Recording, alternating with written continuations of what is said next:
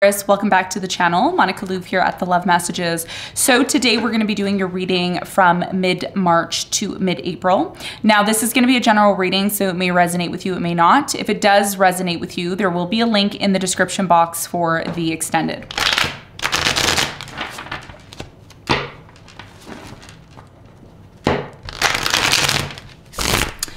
So Taurus, in this reading, I'm gonna be taking a look at past, present, and future for you. I'm going to clarify the cards and pull some advice.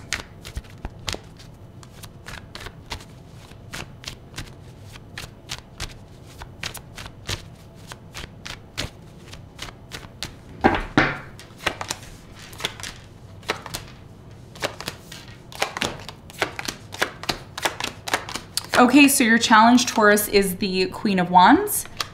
And what you don't see coming at the bottom of the deck, you have the Ace of Swords upright. Okay? So Taurus, your biggest challenge from now until mid-April is the Queen of Wands. The Queen of Wands could be you or it could be a specific person that you're dealing with. We're gonna clarify, we're gonna see why it's your challenge in a moment. Now, in the recent past, you have the King of Wands, the Eight of Swords, and you have the Star. So in the recent past, I do strongly feel for you there was a very strong energy here of isolation because of someone that you were dealing with. Okay, so this could have been isolation from someone. I'm getting an abusive energy here in the past. I'm gonna be really honest with you. Um, King of Wands and the Eight of Swords, and the way the King of Wands is looking at the Eight of Swords, it's kind of like, I don't know, I just get an abusive vibe here. Um, we're gonna find out more when we clarify for you in a moment. Now, in the present moment, you have the Wheel of Fortune, the Page of Swords, and the Three of Wands. So I feel in the present moment, it's interesting because Leo also got the Wheel of Fortune in the present moment as well. And I feel like this is connected to the four seasons, right? Because Taurus, Scorpio, Leo, and Aquarius are the four seasons summer, fall, winter, and spring. So I feel like something very, very interesting is happening for you. In fact, I feel like you are getting um, ready for Jupiter to enter into your sign, I think in the month of May. So even though this is a reading for April, you know, whatever's transiting your 12th house right now is preparing you. So in the present moment, there's a decision that has to be made about whether or not you are ready to take the leap of faith, okay? To travel, to go somewhere new, to start this new journey. And it's almost as if something has ended or something was, I don't feel like something has ended in the present moment, but something in the past ended that was really significant to you. And in the present moment, you're analyzing, you know, should I go for this? Should I go for this opportunity? Should I do it? And we're gonna talk more about that and see what the important messages are for you in the present moment when we clarify. Now, in the near future, there's a new beginning that's going to happen for you a passionate brand new beginning with the ace of wands. And with the six of wands it's going to lead to tons and tons and tons of success for you. I feel like you're going to be in your head about this situation like you're really going to be going within and thinking about like where did i come from? Where am i going? Because something here that maybe you thought wasn't really going to be successful ends up being successful for you okay? What you don't see coming at the bottom of the deck you have the ace of swords upright. Something that isn't clear to you now is eventually going to be extremely clear to you very soon, okay? And we're gonna talk more about that. Let's get into your reading. Let's start clarifying. Let's see what's going on.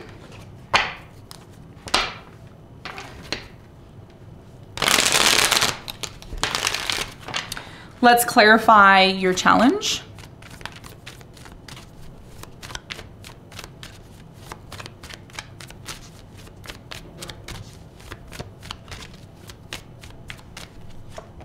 You have the Eight of Pentacles, the Queen of Swords, and the Four of Swords. So your biggest challenge here right now um, really has a lot to do with recognizing there's some sort of shift in focus that's happening for you right now. Um, so you could be in this place of, you know, trying to work something out with someone, trying to see eye to eye with someone.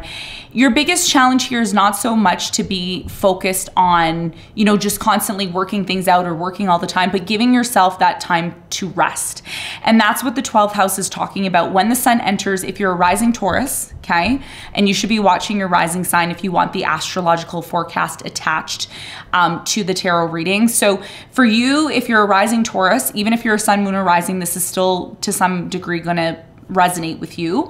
Um, the month of April is a month of resting, okay? It's a month of balancing, you know, the the the the work aspect of your life and then the resting aspect of your life. And the reason why you're being called to do this and it may be challenging for you because some of you are really overly working or you're overly relaxing too much. There's a lack of a balance here um, one of the things here that I'm seeing for you with the Queen of Wands, this passion that you have, you have some sort of passion inside of you that you want to manifest and you want to create. But in order for you to manifest and create this, there's two important aspects that you need to consider. The first thing is logic, being logical about a situation to implement your passion and your ideas, and then two, actually taking that action and doing it. So the challenge here is is to be able to balance the time period of resting and relaxing to the time period of, oh, I need to work, I need to craft this, I need to do it. And that's the challenge here because there's opportunities that are coming in for you. Okay. As soon as Jupiter enters into your sign, Taurus, your whole entire life is going to change because there's going to be a lot of opportunities on the table for you. Okay. So let's talk about the recent past. Let's clarify the Eight of Swords.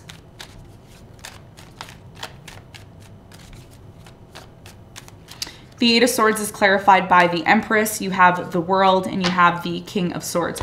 So in the recent past, I'm really strongly getting that you decided to end things with someone. Someone here who's very abusive, somebody here who really just wasn't it seems like this person didn't have your best best interest at heart or you could have had a bad experience with this person in the past you felt stuck um, and either way, this situation ended up coming to an end because it needed to. And there was a lot of healing here in the past. There was a lot of needing to recoup and get back to, you know, where you felt like you were before all of this. You have the Seven of Swords, the Knight of Wands, and the Three of Pentacles. Some of you tried to even work things out, or this person tried to work things out with you, but it looks like this person never really changed. The same either scenario or situation continued to happen here in the past. Lots of deception, lots of lies, lots of dishonesty, lots of crooked energy here in the past. And that's why I felt that there was a very strong abusive energy here. But it looks like you ended up getting yourself out of that and it closed out for you, which is good. Now, in the present moment, there's a huge opportunity that's coming in for you. We're going to talk about this opportunity when I clarify in a moment. But first, I want to clarify the Three of Wands.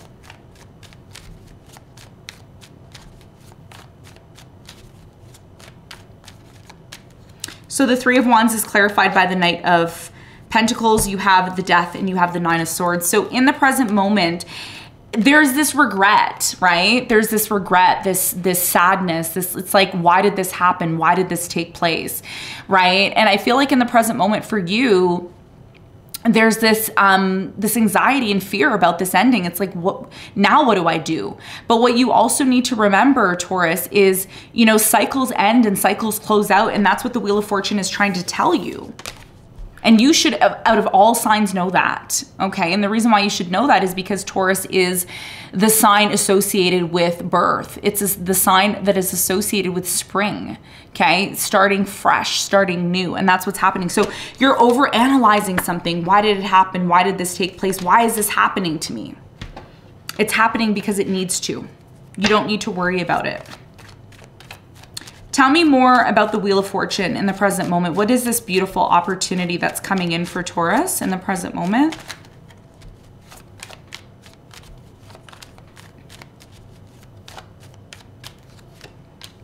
You have the Ace of Pentacles, you have the Four of Cups, and you have the Page of Wands. So it looks like in the present moment for you, there is going to be a brand new opportunity that comes in. There's going to be multiple offers. You may not be satisfied with the offers or opportunities that are coming in, but out of one of these offers, okay, one of them is going to lead to a lot of success. So it's really important that you're not allowing your emotions to cloud your judgment because when the transition starts to happen and Jupiter starts to prepare to move into your sign, you want to make sure that you've put something behind you okay? Because like I said, you're over analyzing it a lot in the present moment. You're like, I want answers, I want answers. Why is this happening? It's happening because it's making room for something better. Bottom line. Okay. Now, in the near future, let's talk about this success that's coming in for you because whatever this success is, it's leading to a brand new beginning that you keep questioning. Tell me more about the Hermit in the near future for Taurus. Three of Cups, the Five of Swords, and the Nine of Wands. if you've been dealing with a breakup or a disconnect from someone and you feel weak without them, you feel like, I can't believe this happened. Like, I need to fight to get back together with this person. I need to be with them. I love them. I want to give them a second chance there is a possibility of that happening, but I think a lot of you in the near future are going to spend a lot of time on your own, thinking about ways to kind of get back to this place of being happy again. And while you're doing that, a new beginning starts to happen for you, anyways. Okay. So it, the reason why you're questioning something so much, Taurus, is because you want it to go back to the way it was before. You're a very fixed sign. So when new things start to come in, new experiences, you start to question them. Is this going to be good for me? Is it not? Is it going to fail? Is it going to this? Is it going to that? Right? So in the near future, there's a brand new beginning happening for you anyways. Tell me more about the Ace of Wands in the near future for Taurus.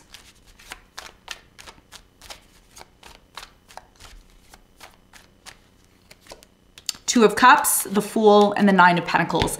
The only way this new beginning is going to happen, whether it's with someone new or someone from your past, is when you start to work on yourself. Remember how I was saying, oh, you have a project or you have something that you want to do, go do it go and do it. because what it's going to do is it's going to lead to the success that you've been looking for. And one of the things that I've been studying and I've been looking at, I've been really looking at you know, how do people take advantage of opportunities? Well, they have to know astrology. They have to know their chart. They have to know when those opportunities are arising. Okay. And for you, I see big opportunities coming in for you, especially when it comes to starting your own business, making money, being able to, you know, have your own place, stand on your own two feet. And guess what? That is what is going to bring the relationship that you want together, okay? And even if you're somebody who's already independent, you have your own money, you doing your own thing is very attractive. You doing your own thing is what leads you to naturally find that soulmate that you're looking for. A lot of you are asking, when am I gonna meet my soulmate? When are they gonna come in? When am I gonna find the love? When you start to love yourself, when you start to love yourself, when you start to put energy into yourself, when you start to create that business that you've always wanted, when you start to take action, some of you have very strong planets in Aries, or you could be dealing with someone who is in Aries. Okay, so success is here. And what you don't see coming at the bottom of the deck is the Ace of Swords. You know, you're gonna get so much clarity between now and mid April. You're gonna say, oh, that's what is happening. Now I get it. You know, I don't need to be worried. I don't need to be in fear. I don't need to be stressed. I don't need to be over overly emotional about this situation because the truth is change is to happen anyways. I just have to learn how to adapt to it. So, what is this success that's coming in for you in the near future? There's this huge opportunity of success that's coming in. Tell me more about the Six of Wands in the near future for Taurus. You have the Page of Pentacles, the Moon, and you have the Knight of Cups. So in the near future, I do strongly feel that you're gonna have a choice between someone from your past and someone new. And it may be very difficult for you to make this decision because when these people come into your life, you're so successful. Everybody wants you, everybody wants to be with you. But I think one of the things that you're gonna be looking at here in the near future, Taurus, is what, what is closest to my heart? What is the most dearest to me? What is gonna make me happy. And that's something that I see, you know, between now and mid April, you're going to get extremely clear on. Let's get some advice.